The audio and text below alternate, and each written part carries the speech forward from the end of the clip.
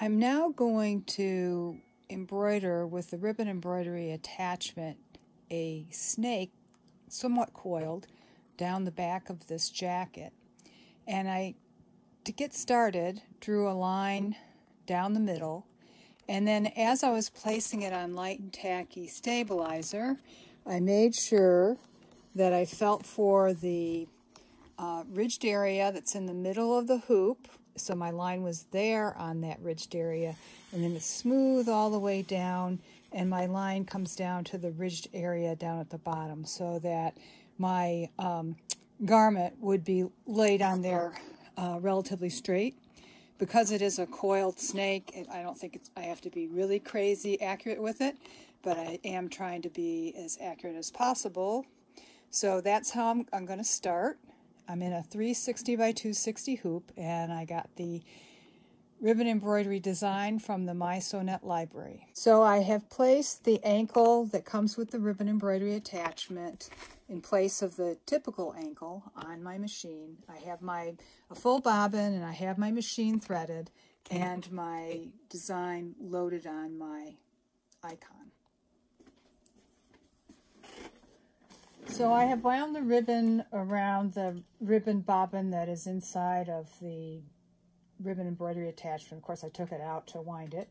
And then I have my red marks lined up, the one, the one dot, the red line, and then the three dots.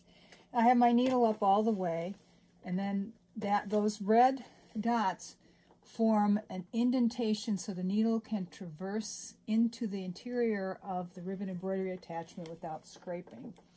And now I'm going to hook it onto the uh, attachment that comes with it that replaces the normal ankle.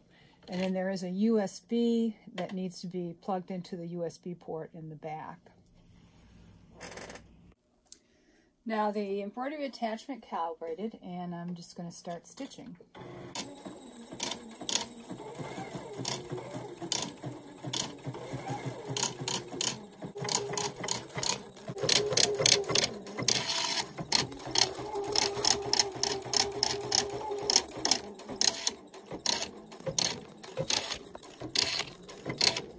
So here is the end result.